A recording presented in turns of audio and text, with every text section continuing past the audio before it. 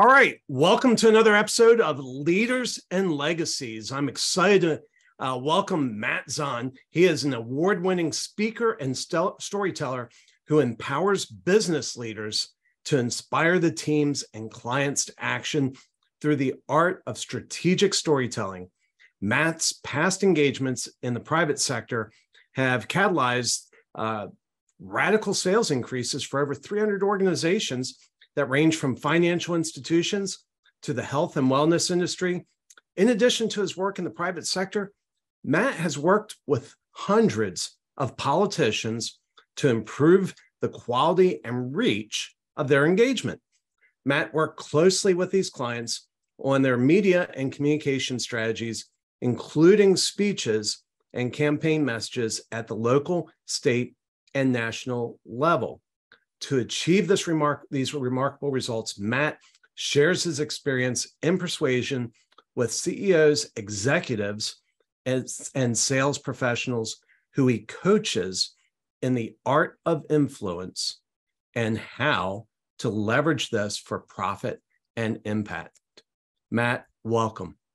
Thanks so much for having me, Craig. I appreciate it. So, Matt, I've been looking forward to this this talk uh, for a number of reasons. One, I've gotten to know you over uh, LinkedIn, and uh, you just you have a very generous, very welcoming heart. You know, I and you know I think that's a a gift. Uh, but let's just let's just kind of back up a little bit. Um, it, it, go into a little bit more detail. So I've told the audience what you do. Give us an example. What you know, if if I were to, you know, if you were to come into my company, what would you do for me? Sure, great question.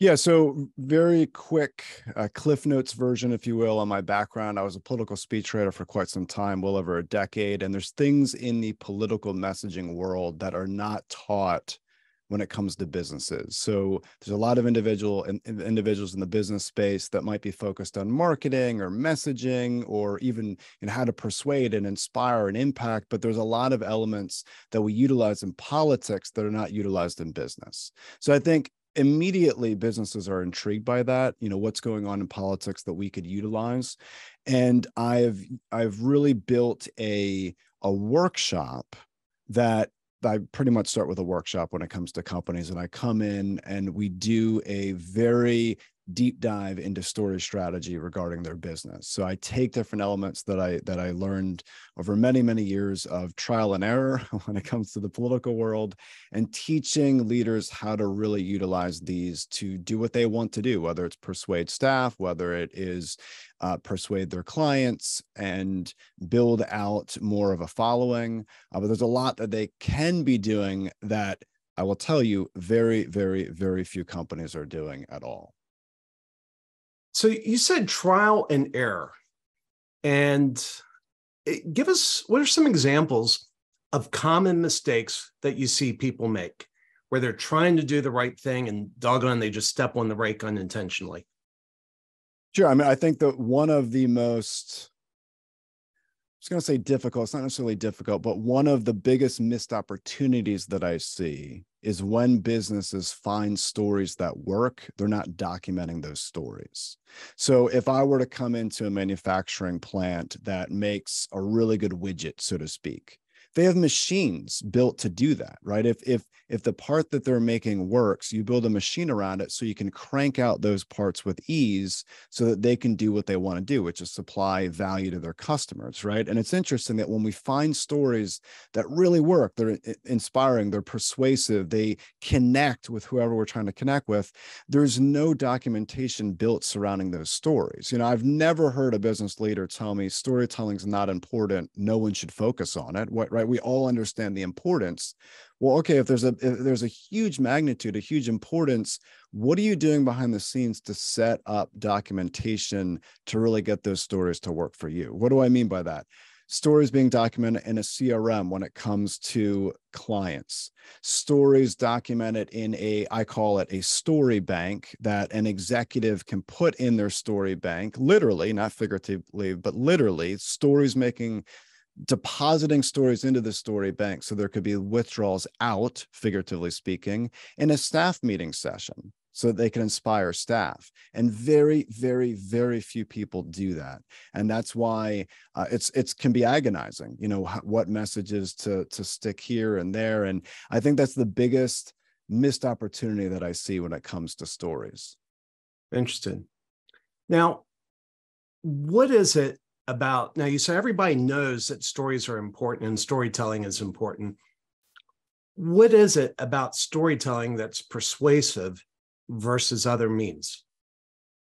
Well it's it, it is how the stories are intentional and i always like to use the verbiage strategic storytelling. So stories there's a lot of research it really connects us to empathy compassion love right? So there's a definitely a human element but also people want to see themselves in your story. So if you are a company selling something where does that person fall within that story? You know that's why one of it's one of not the the only but one of the ways to do that is to position a customer as the hero of the story or the or the main character that you're edifying.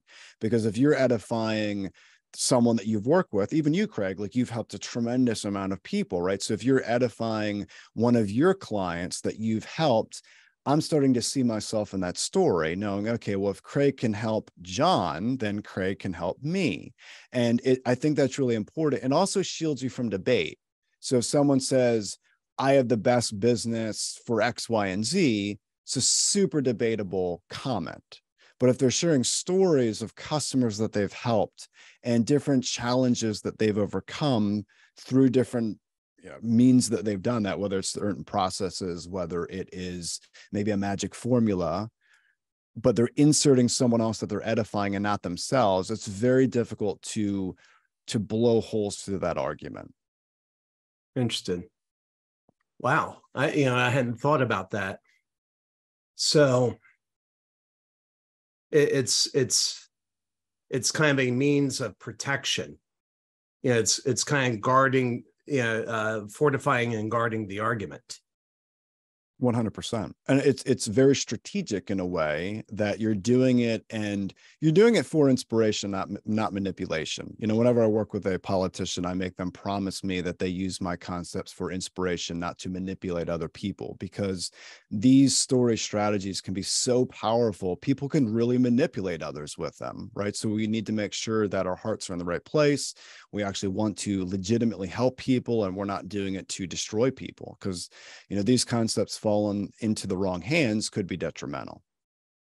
You, you know, you hit on a really interesting point, and and it's something I've occasionally struggled with, where I'll use a method of persuasion that from the outside just appears casual. It appears like it's a normal conversation. And I'll see the impact that has on a person. And there's been two times in particular where I it once it happened and once it had the impact, it uh, it, it kind of sent chills up my back, and I had to go back and say, okay, was I doing the right thing? Was you know, and, and I concluded I was, but it was it felt scary to have that kind of power. And how do you recommend people navigate that? Uh, they need to make sure that their intentions are pure they need to make sure that they really understand what they're doing. I mean, once they get to the level of understanding that they say X, they're going to receive Y, right? So, like as an example, there are stories that I share throughout my sales pipeline process, through my marketing, that based on the track record, I can almost guarantee there will be a return. Well, once I know that, and I know that, hey, doing this is going to result in something that I want. Once you recognize that, we need to be very intentional and strategic with it, but do it for use it for good, not for harm. I mean, there are a lot of there are a lot of organizations out there that are not doing good things that use story strategy and they do it in a very poor way right uh, so it really depends on on who these who, who the concepts that we're talking about the hands that it's falling into um, but it's just really recognizing the sheer magnitude that you have based on story strategy, which is very high. I mean, you could look at political leaders, you can look at uh, different business leaders that really grab a hold of what they're doing regarding story strategy and see what they've done. I mean, I always ask the question to people do you really think Apple would be the company it is today if Steve Jobs didn't focus on storytelling? Answer is no way, right? Jobs focused on how to share different elements of that story and was able to build one of the most profitable businesses in human history.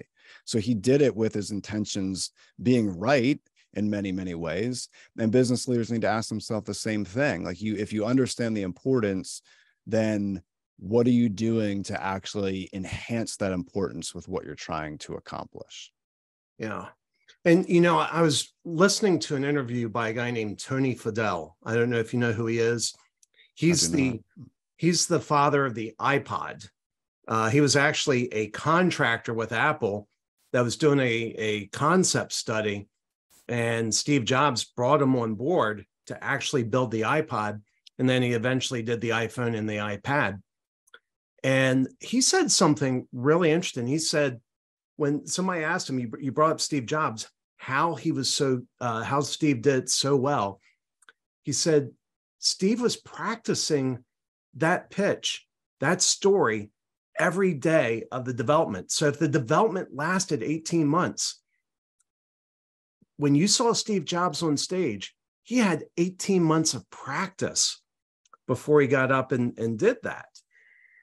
So I think eh, the reason I bring that up, I would imagine there's some people that are listening, some people that you counsel that say, look, you know, people like Steve, they have the storytelling ability. I don't, you know, I'm I'm no Steve Jobs. How would you respond to them?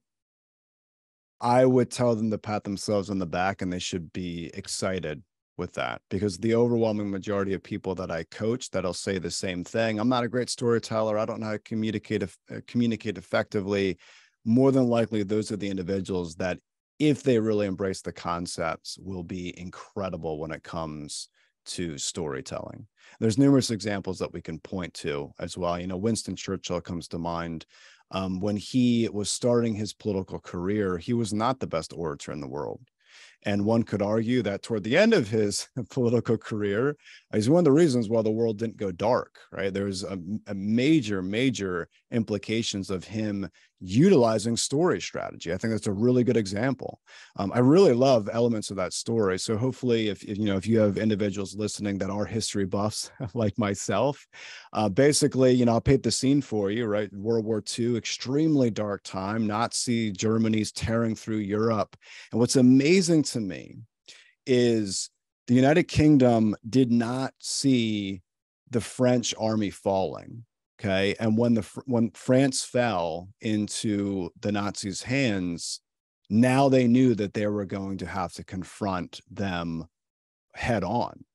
What's amazing about this whole thing is what did Winston Churchill do? He had a story strategy session. So while the Nazis were bombing his island relentlessly. Okay, so imagine London, imagine walking outside and you would see airplanes in in the sky, not knowing if the airplane parts are going to be falling on your house or if your house is going to get bombed. With all this chaos, he had a story strategy session, and his story strategy session was how do I get the United States involved? So that became part of his obsession, where he was literally doing a deep dive when it came to messaging strategy back to the United States on here's why you need to get involved, here's why it's so important.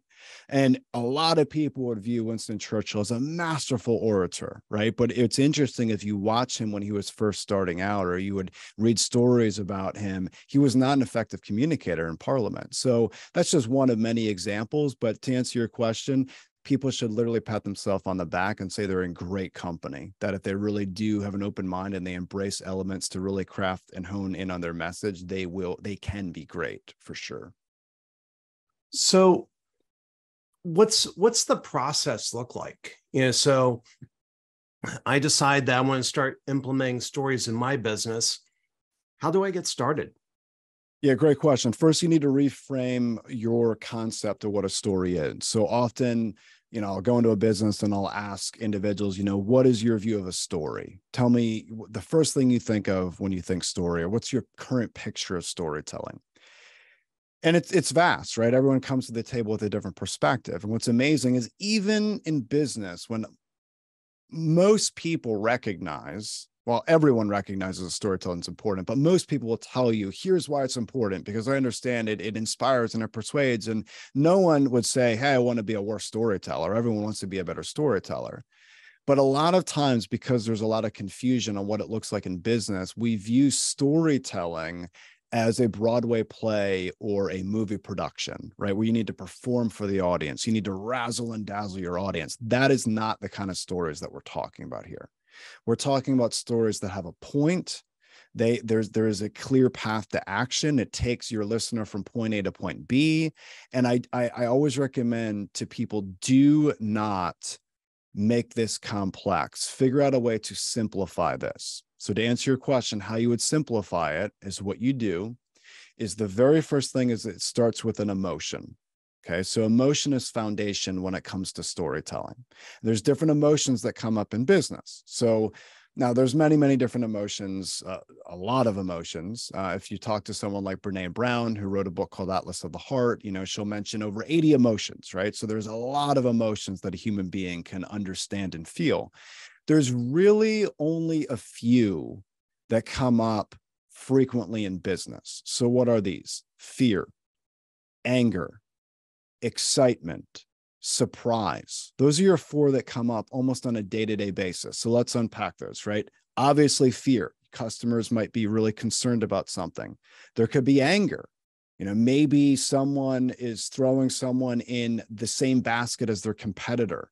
So every time this entity is trying to get them to do something, it's bringing up certain stories when they were working with that entity's competitor, and it brings anger up.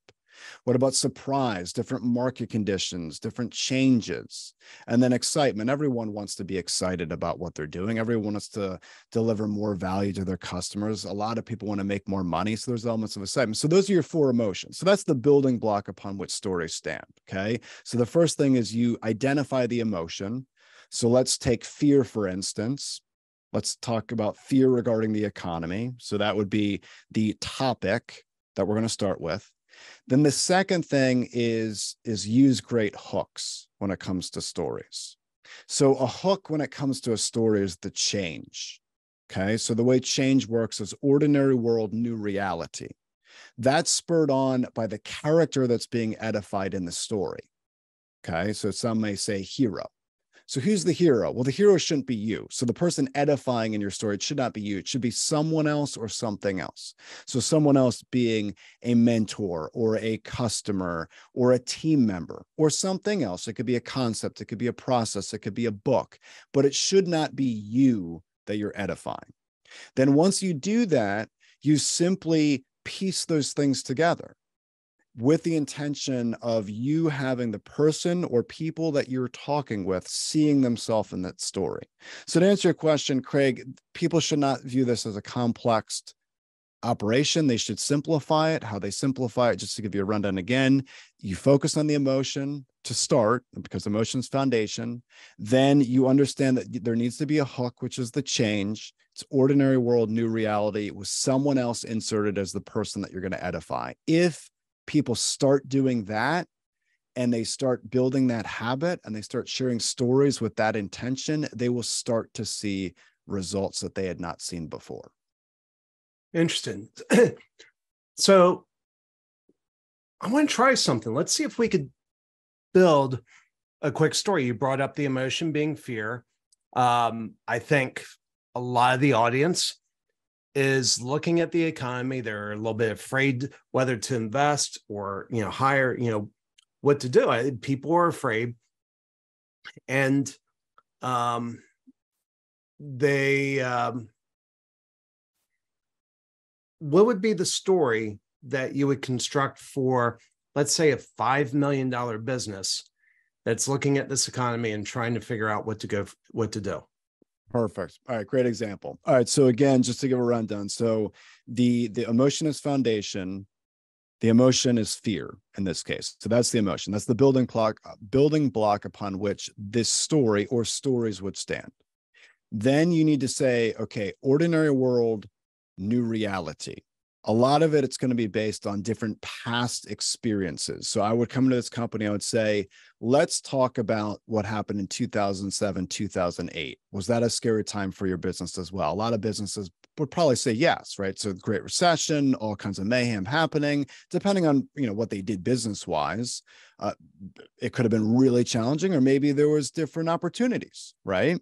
So let's talk about those challenges let's talk about those opportunities. And then what we do is did they help customers through the great recession? Well, if the answer is yes, and they can pinpoint those customers, now you're starting to see reoccurring themes that even if the economy gets worse, even if we are in another recession very soon, how did you navigate the last one? And you start really understanding these different themes and it really helps us process that we can be creative so, like as an example, I'll give you an example in, in my own life.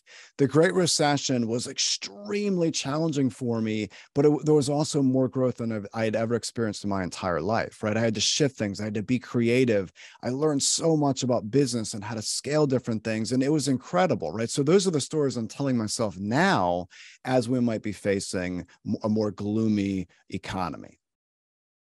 Well, it's no, and that's so true. And I, and I would imagine one of the things that business, business owners, business leaders need to keep in mind there as there's a fair part of the workforce that has never experienced a down economy. You know, their entire career has been in an expanding economy. And so all this must feel different, must feel scary. And I see, you know, going back to the Winston Churchill example of giving people hope in a time of great fear. So let me let me ask you this: you you you know previously uh, you worked with politicians, and you know I, I I think it's no secret that we're at a time of hyperpolarization. You support this guy, this group of people hate you. You support this other guy, this other group of people hate you and it, it's where I've seen the dialogue move. It used to be we disagree. Now the dialogue is they believe this, therefore they're evil. And there's always been hints of that, but it's really, really amplified there. Um, how would you advise people? And, and this is just kind of, this is more in the leadership uh, standpoint. That's now I would imagine there are business owners that are facing this with employees. How do you recommend that people navigate this in a way that pulls people together as opposed to pushing people apart? Great question. So, first, let me start out by saying I am extremely optimistic for the future. Okay. Which uh, often when I say that to people, they're kind of surprised by that. So, have I seen darkness, if you will? Have I seen politicians that are very manipulative and they do horrific things and they get involved in things that they shouldn't? Absolutely. And I've seen the darker side of humanity from being in the political world. You know, I always I always joke that I hate politicians more than most people because I've seen more garbage behind the scenes. Okay. So I have seen a lot of crap, so to speak, by being involved with many different campaigns and different elected officials. Absolutely. And there are people that I would never want to work for. And there are people that I work for that have been incredible, right? So I've seen the darker side of politics, but I am unbelievably optimistic for the future for a few reasons.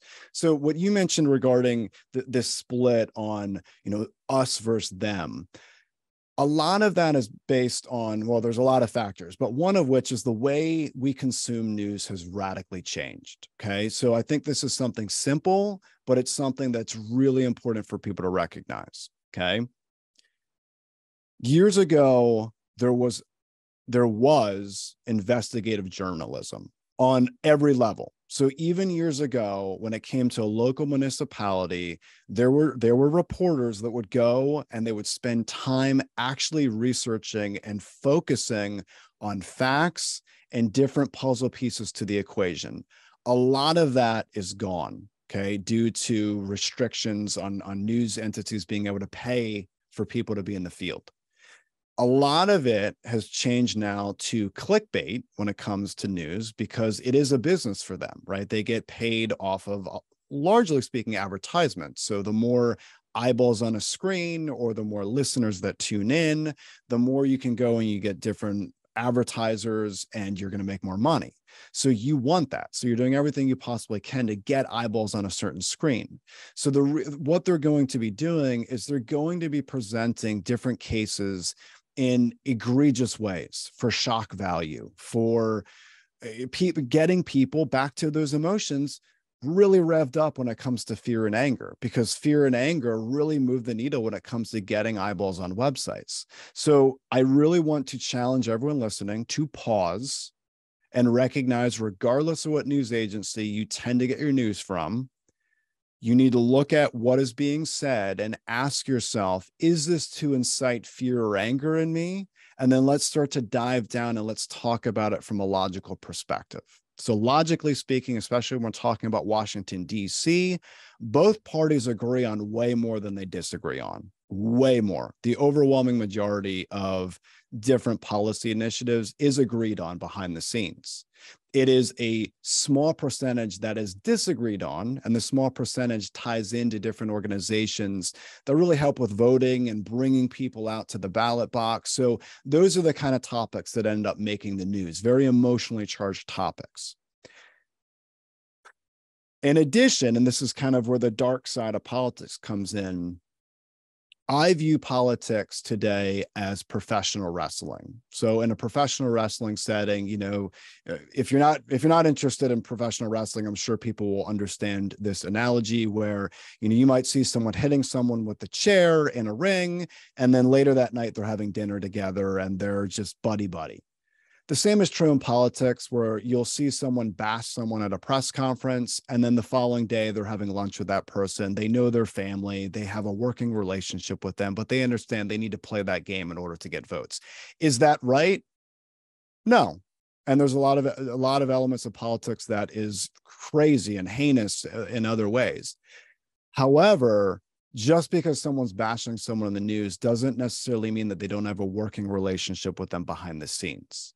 So there's a lot of factors that are happening. Also, we get news primarily from the palm of our hand due to smartphones. We never had that before. So something that might be a concern would would not be in your mind years ago based on reading a physical newspaper and then that newspaper's in the trash now it's a 48 hour just bombardment, if you will, of certain topics. So we think things are much worse than they actually are. So, with all that said, I am optimistic because I see it more of a generational aspect versus the just what topics happening from day to day. Thank you. And that's, you know, I think that's important to understand that uh, our political leaders agree on a lot more than they disagree.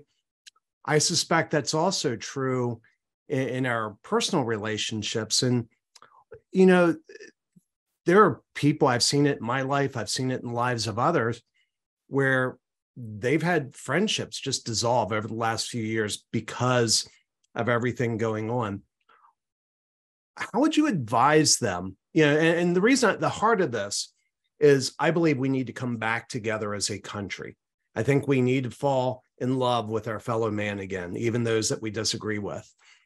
And how would you encourage? So that's at a political level that you answered. How about a personal level? The people that we encounter in lives, in our lives, that you know, may have radically different views than us. How should we engage them? Yeah, so I think there's a, a big difference between tribalism and creativity. a vast difference. So let me explain a lot of what we've done as a society has geared towards tribalism. So basically, it is us versus them. They're wrong, we're right. And it has sparked all kinds of highly emotionally charged discussions. And there's an element of pain with that. Okay. Because we have programmed our minds that what they do is wrong, what we do is right.